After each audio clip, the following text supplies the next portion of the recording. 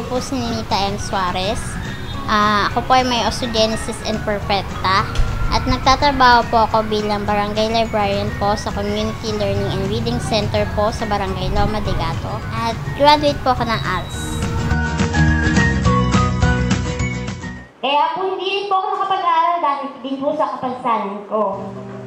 At noon po, kala ko po, tatanda na lamang po ako na nakakulong sa bahay at walang alam.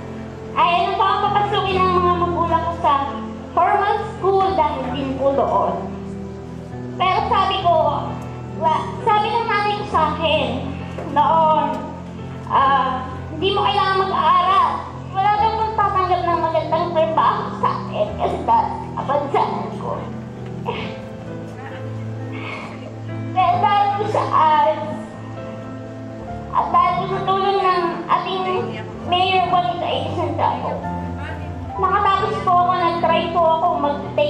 exam. Dahil nga po, grade 3 lang po yung tinapos ko, pinilit ko po kasi gusto ko na makatapos. At gusto ko patunayan sa lahat ng tao. Ay hindi ko alam yung kapansanan ko.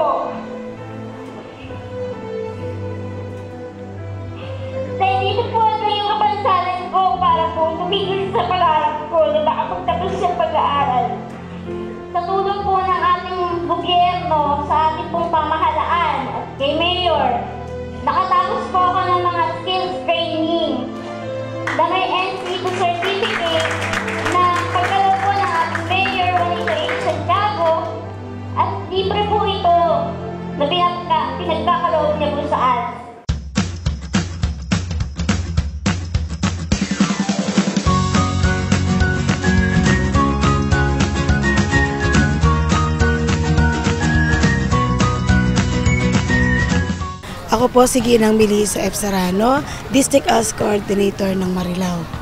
Ang programa ng, ng Alternative Learning System ay turuan ang mga hindi nakapagtapos ng elementarya at saka high school na kung saan binibigyan sila ng pagkakataon makapagtapos ng high school. Ah, ang, ang alternative learning system ay libre. Ito ay binibigay sa mga mamamayan na, na hindi mga nagtapos ng pag-aaral. At ang pasok nito, once a week lang. Kaya kung ikaw ay nagtatrabaho at nais mo makapagtapos ng pag-aaral, pwedeng pwede kang mag-enroll sa amin. Ah, sa mga nais na gustong mag-aral ng alternative learning system, pwede silang pumunta sa amin sa Marilao Central School. Meron, ding, meron kami pag-aaral doon tuwing lunes at saka miyerkules. Sa Loma de Gato naman tuwing martes at saka biyernes. Sa Lambakin tuwing ah, martes at saka webes. So buong Marilao ang nabibigyan ng ganitong pag-aaral.